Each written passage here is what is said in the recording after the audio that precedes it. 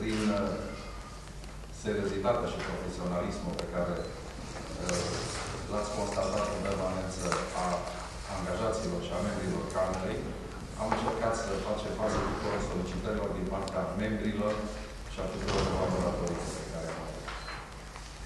Așa cum spuneam, anul acesta a fost un an marcat de mai multe evenimente uh, de schimbare la nivelul Camerei.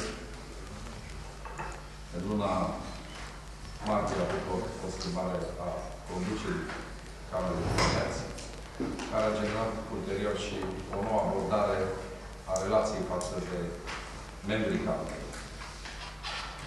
Spun acest lucru pentru că în, la începutul anului aveam un număr de mai puțin de 90 de membri uh, ai Camerei.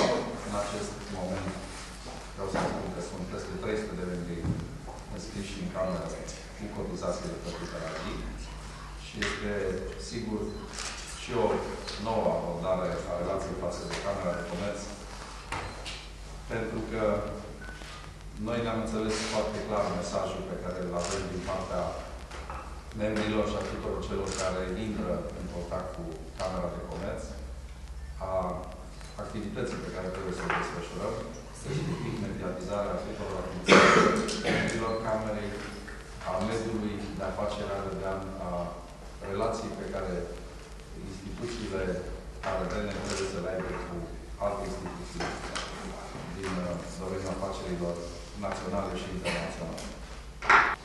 Am reluat aceste, aceste acțiuni. Uh, una dintre cele mai, uh, să spun, importante a fost deplasarea în Kurdistan, în care a participat un număr important de reprezentanți ai mediului de afaceri și care vreau să vă spun că se concretizează deja cu o nouă deplasare în luna ianuarie, uh, unde vor avea loc uh, primele contacte cu societăți comerciale și cu reprezentanții administrației de acolo în vederea uh, perfectării unor contracte de colaborare economice.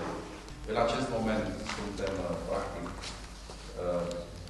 a doua cameră din țară ca nivel de expunere la nivel național, cu cel mai mare pavilion expozițional, este 4500 de metri pătrați de expunere în hale și 20.000 de metri pătrați în aer liber.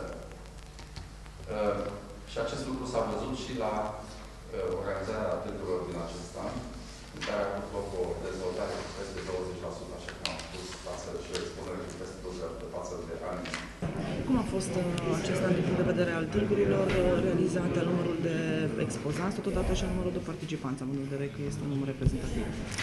A fost un an foarte bun și reprezentativ pentru Camera de Comerț, uh, Industrie și Agricultură Arad.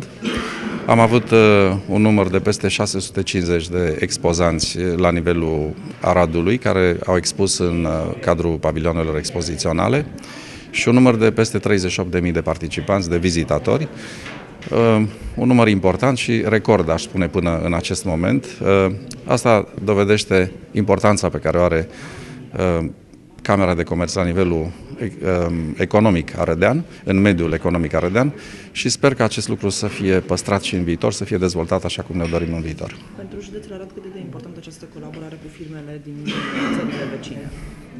Este foarte importantă, mai ales că în acest an uh, a fost un număr foarte mare de prezență a firmelor uh, străine la aceste expoziții. Asta înseamnă că am intrat în circuitul uh, internațional cu acest pavilion expozițional și cu activitatea pe care o desfășurăm. Sigur că este bun, de bun augur, în primul rând, pentru mediul economic arădean. Colaborarea cu Irakul, de anul viitor veți avea un reprezentant permanent acolo? sau? Da, vom avea un reprezentant al Camerei de Comerț acolo, care va participa activa uh, pe lângă Camera de Comerț din Duhoc.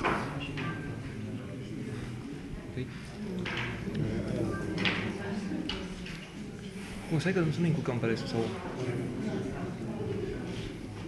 Mai Uh, să ne spuneți mai clar, adică să s-o zis noastră că unde va fi reprezentantul, ce va face acolo? da.